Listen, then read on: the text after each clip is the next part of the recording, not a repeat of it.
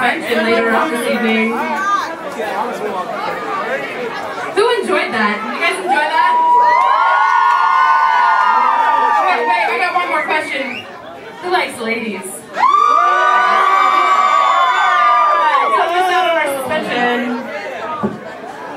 Let's go, guys. Oh my effing G. Excuse me, everybody out of the way.